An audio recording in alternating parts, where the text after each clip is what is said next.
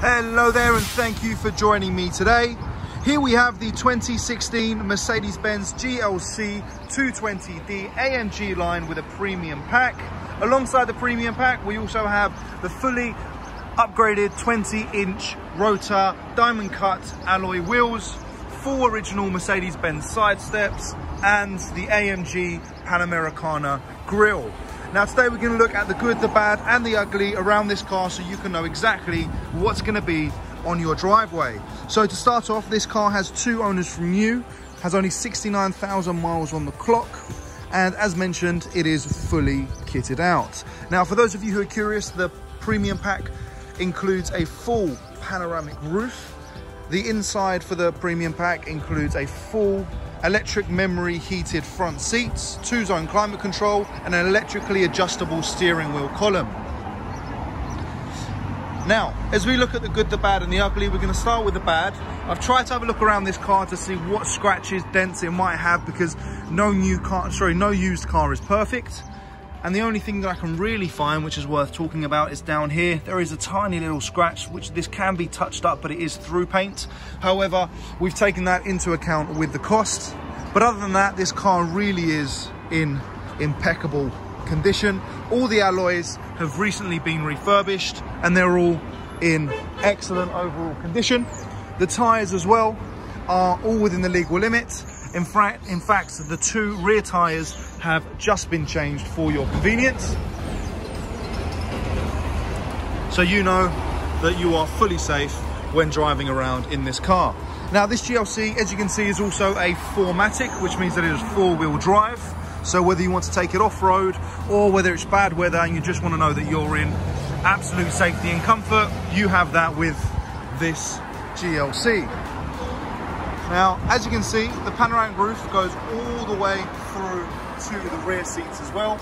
We'll take a look. At the moment, it's currently half open like a hatch, but it does go all the way back.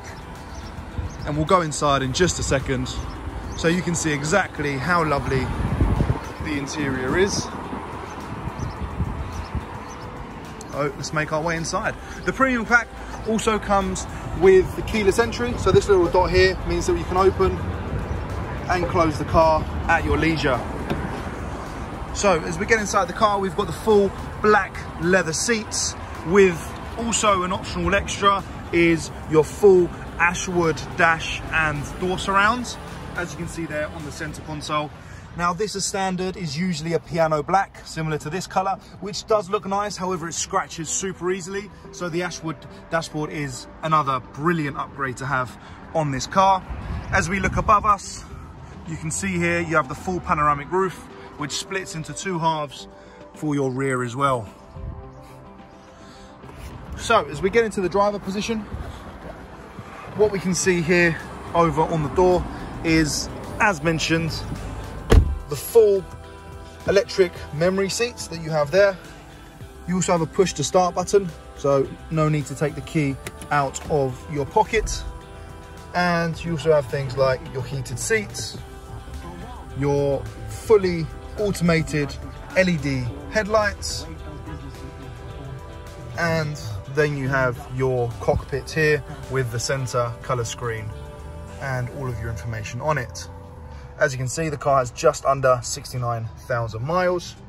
Here you have your center infotainment screen with your full navigation. You have media to connect your phone and you have your radio and your DAB radio etc etc now looking around the car inside is just as nice as the outside. No major tears or scratches or pouring in the leather. It is absolutely perfect inside this gorgeous medium-sized SUV as we head up here to the top we have this gorgeous little button which we can pull back and will release the huge panoramic roof so that we have full exposure to the elements, which is lovely, especially if you're going to be driving this on a nice sunny day.